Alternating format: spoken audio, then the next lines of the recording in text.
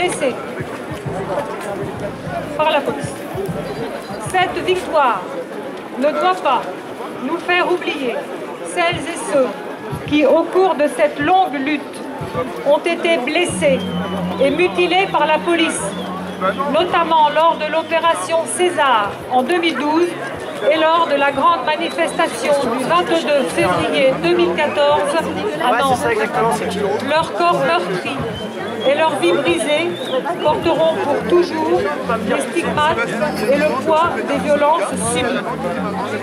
Cette victoire ne doit pas nous faire oublier le tabou qui règne autour des violences policières et l'impunité dont jouissent les forces de l'ordre en France.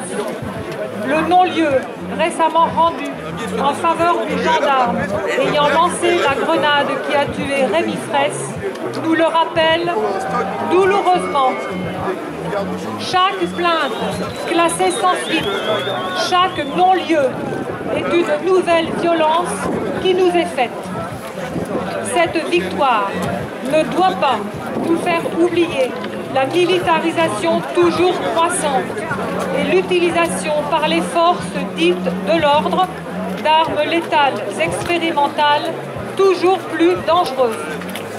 C'est pourquoi l'Assemblée des blessés, des familles et des collectifs contre les violences policières appelle celles et ceux qui refusent de vivre dans un État qui réduit les droits et les libertés, qui mutile et qui tue, à ne pas rester isolés, à s'organiser pour lutter ensemble contre les graves dérives actuelles. Merci de votre attention. Je passe la parole à Manu qui va vous annoncer la semaine de.